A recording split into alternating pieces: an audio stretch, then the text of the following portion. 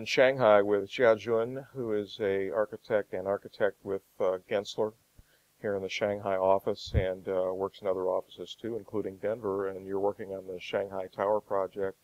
Uh, as we sit here in September of 2012, uh, tell me how the project is going and what you're looking forward to over the next couple of years.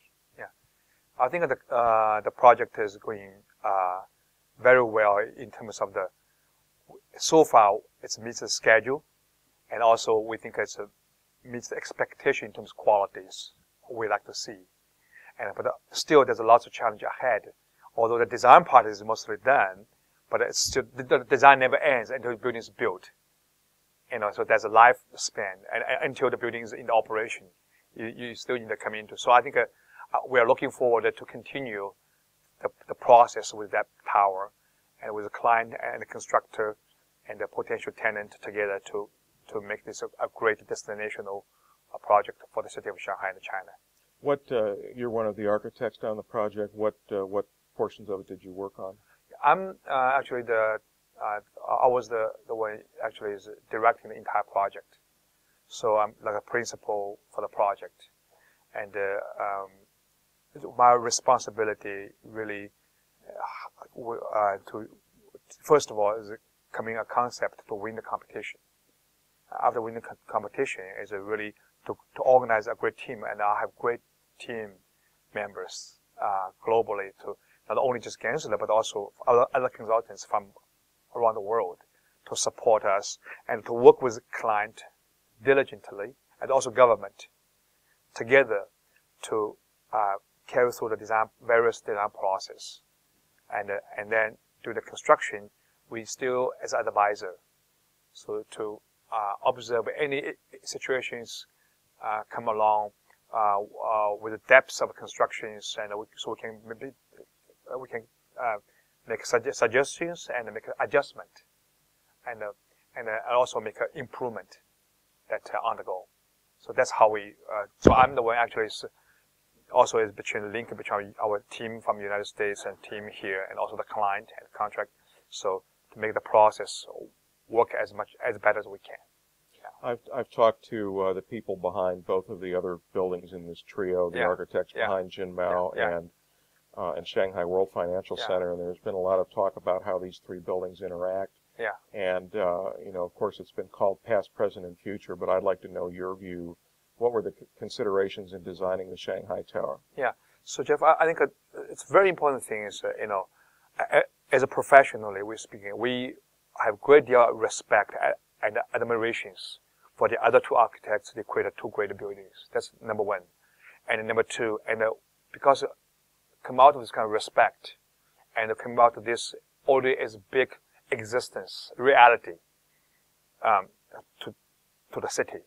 And they all, undeniably, undeniably, they all have a great impact for the, for the built forms for this great city.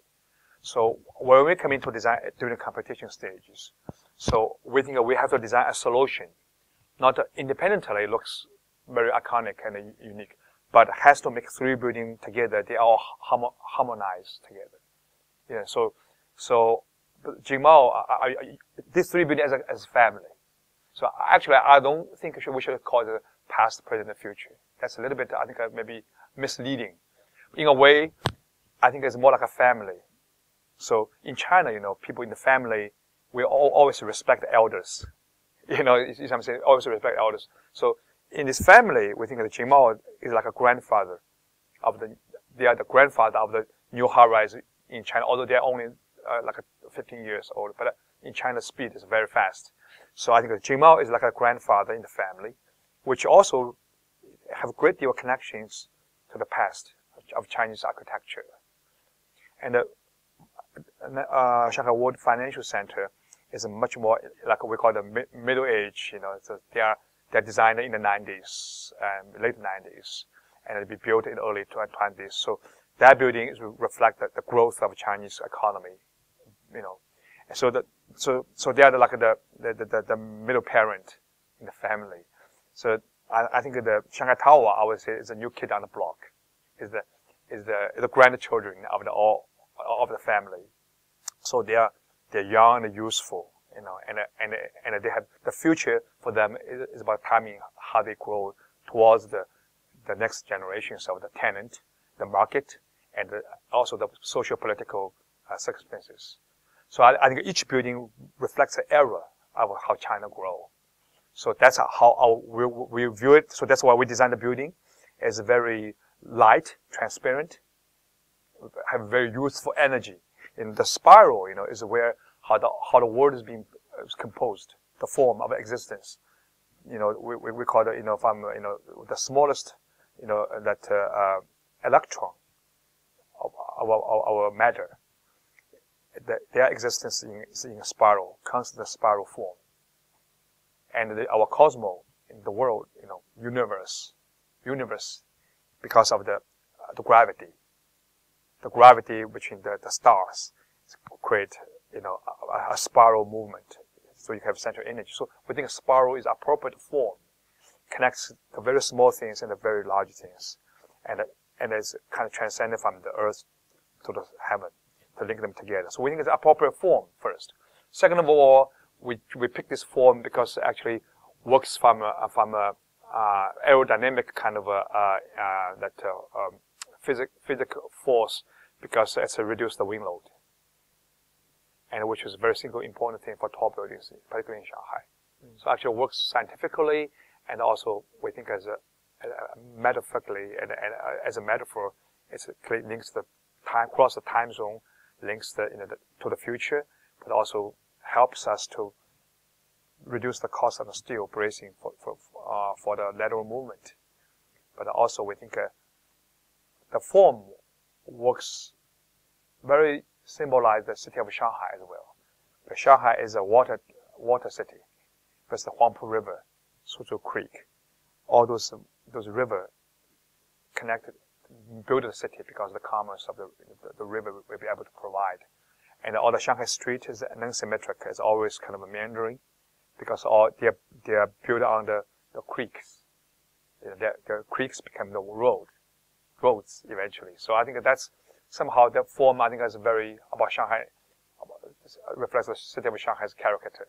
I think maybe that you may have answered my question. I think it's a real accomplishment to design a building, and these three are literally across the street from each other. It's yeah. amazing. Yeah. This is one of the most amazing skyscraper places on earth, standing yeah. in the midst of these yeah. three buildings. But the Shanghai Tower really does not upstage yeah. the other two at all. No, no. Is it? And, and you've and you've described the you know the theory behind the design, but what else is there? Is it because the building is so slender that it doesn't do that, or that it's so smooth, or yeah. how do you strike that it, right balance? You know, I, I think that the, the, when, when you, I think that it's, you have to go back. You have to be respectful of the other architect's accomplishment first.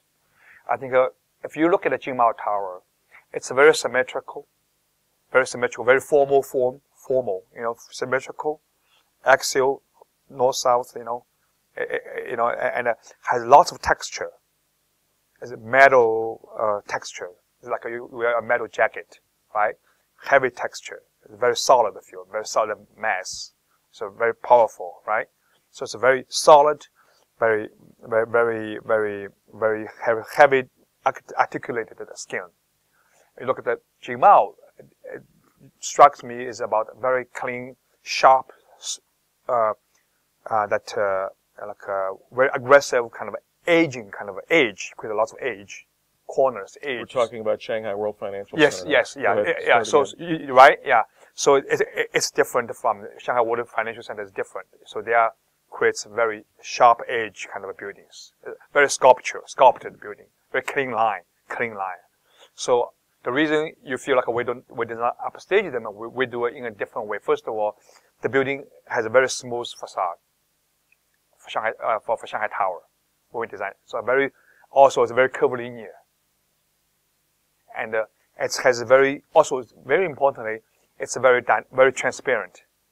You can see the glass through. So the other two buildings is very opaque, actually.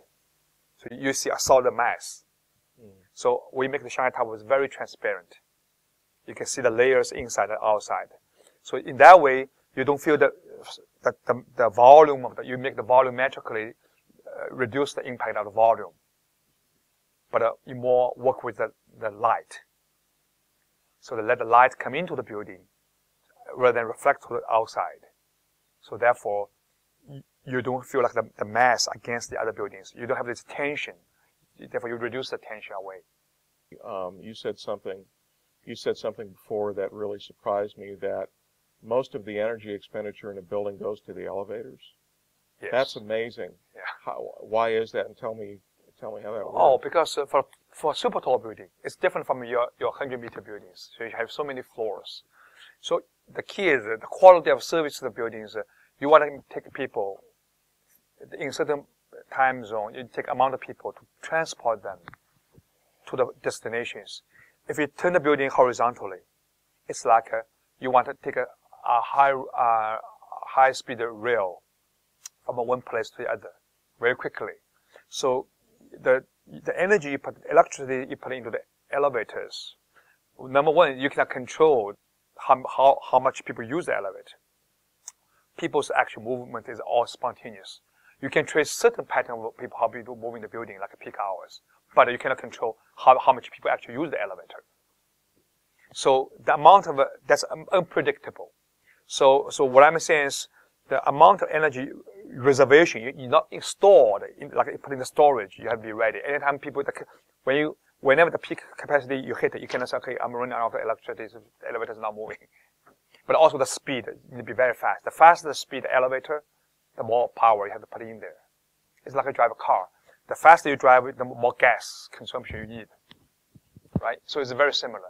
So, but you, you from when, when building reaches that tall, so like the Shanghai Tower, the speed of elevator, the fastest speed elevator from ground to the top observation is 18 meter every second.